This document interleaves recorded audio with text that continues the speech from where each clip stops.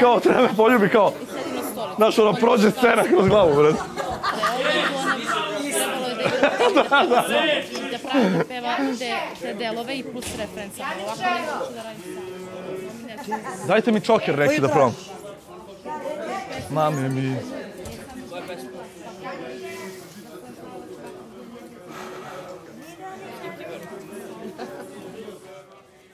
Ali samo ga siram ih mame mi Treba ti ljubav ili Ne, ne, ne, ne, ne. zabava. E, to sad ide, dva puta ti ide. Šta dalje? Pjevam ovo i ti pjevaš ovo. Trebam zato što znam, trebam da znam, E sad ide ono, ti ideš lagano sad. trebam da znam, sam i mislio da ja pjevam prvi, ovaj zajedno pjevamo i onda nakon ovog pjevaš. Jer poslije boli kurac, ja sam da, znam ono, skombinirati se.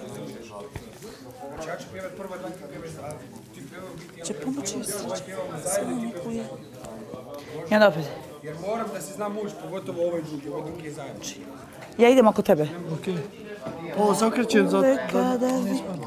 namra Ona zna da sam luda, zato bolje da se ma skloni svuda